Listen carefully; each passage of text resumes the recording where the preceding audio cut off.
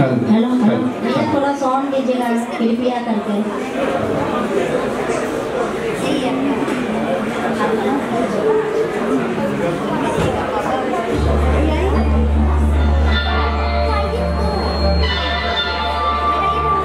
hello hello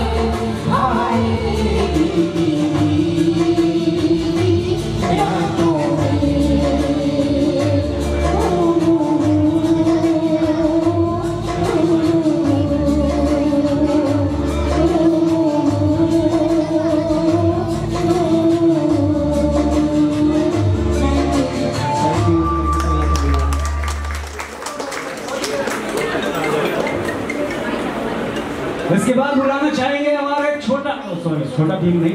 Bhim को जो यहाँ पर